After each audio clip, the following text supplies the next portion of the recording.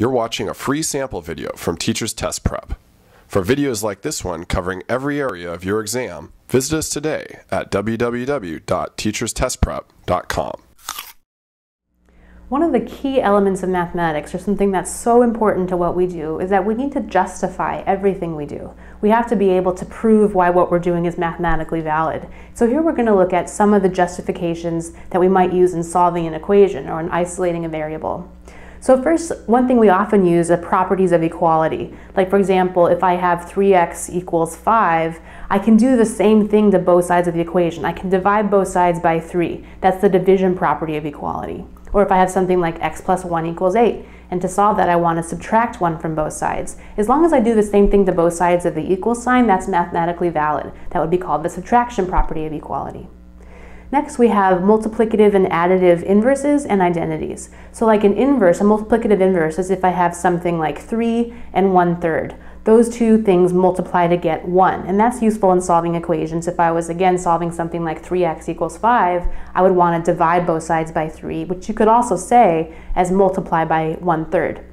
So that's the multiplicative identity. Same thing with additive identity. If I had something like x minus 2 is equal to 8, I could add 2 to both sides because negative 2 and positive 2 are additive identities.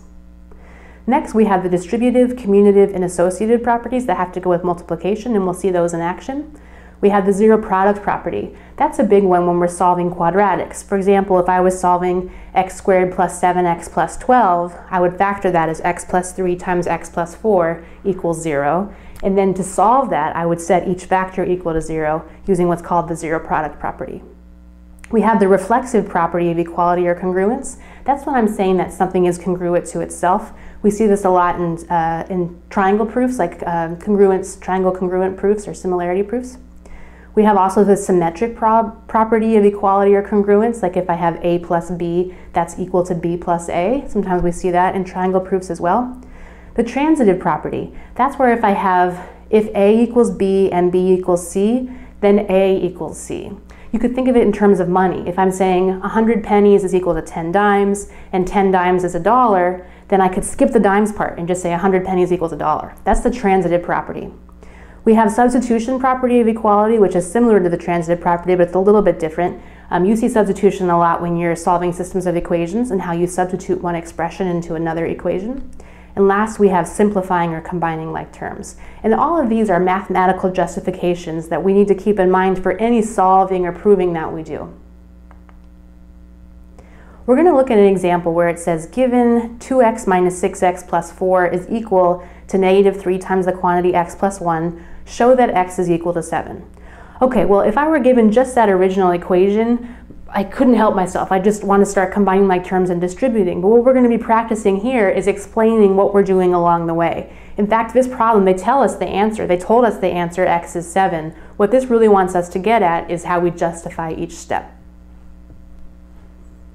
I'm going to be doing this solving on the board and aloud I'm going to be saying the property I'm using. On your slide you can see justification and statement set up in a what we call a two column proof, but that's not always necessary.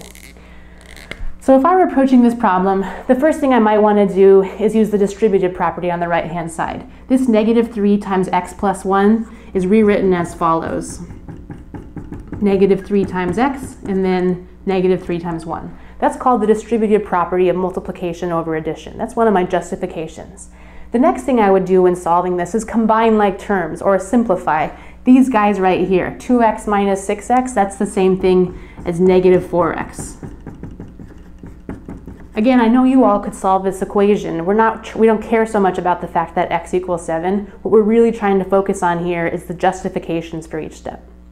So the next thing I might want to do is get all the constants on one side of the equation. So for example, uh, I'm trying to do this in the same way your slide does. I want to get all of these x's on the same side of the equal sign. So what I'm going to do is use negative 4x and adding 4x is going to give me 0x here.